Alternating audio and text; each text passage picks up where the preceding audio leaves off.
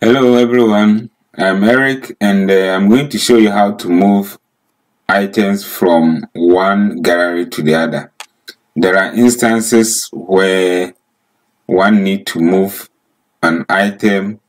That is immediately an item is selected from one gallery we expect the item to be shifted to the other gallery or deselected from that gallery and put into another gallery. So for instance when I click on um, 3 I expect the 3 to move and then shift 2 as you have seen here.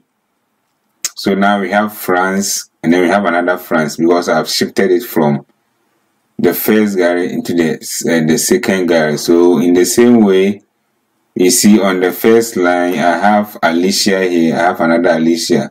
When I click on the Alicia I expect that it's, it's removed from the second gallery and put into the first gallery so when I click on Alicia you see that the Alicia is removed.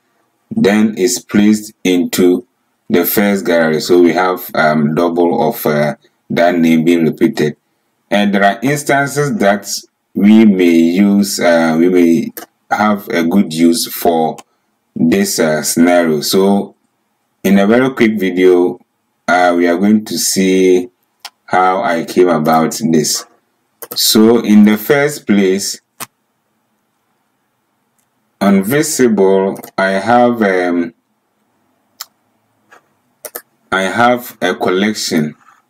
So I have the same data source four lists four lists that I put into a collection. And I've named the collection collection 4 and then collection 5 so in the same way I'll put the collection 4 on the first gallery and I'll put the collection 5 on the second gallery. So when we look at the items property here then in I have sorted the gallery based on the ID of the data source. So I have the first name the last name then I have the ID number.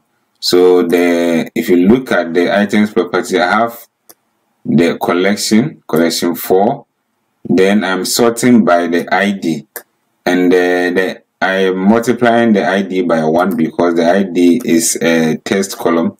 So when I multiply it by 1, then essentially this becomes a number column so that I could use the sort to be able to sort it properly. If I should use the sort by column, that goes with the test, it, it wouldn't work because um, it sees 10 as if it is 1 so let's try and see how it goes. So assuming I use sort by columns and uh, for sort by columns you put them into brackets then you remove the 1 times 1 you see that we sort it all right but we see that we have 1 1 10 11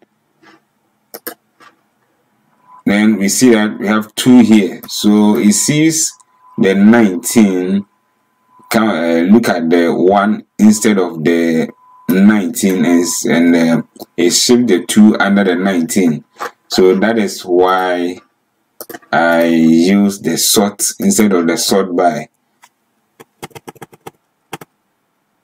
Yeah that is why I use the sort instead of the sort by. So I'll go back and continue the tutorial. So multiply by 1 okay so with this we have the 4 then on select, let me make it a little bit bigger. On select of this icon, I have this formula, I have the same thing for on select of the second gallery. Now on select of the icon inside the first gallery, I have remove, then the name of the column, this item. So remove from this collection when I click this item. So whichever item that I, I click, it's removed from the collection. So if I click on 5, 5 is removed, so now we don't have 5 again. Then in the same way, when I click on the item, I remove and then I collect or put it in the second collection, which is the collection 5. So it's removed from collection 4 and put into collection 5. So you see that this is decrease and this is increase when when I click on the first gallery. In the same way, I have the opposite of the first inside the second gallery. When I click, it removes from collection 5 and then it puts on collection 4. So straight away when you click on the first, the second icon is shifted to the first.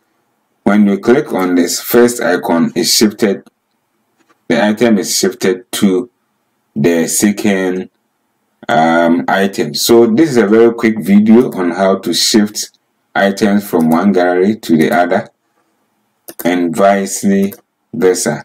I hope this will help you in one way or the other. Thank you.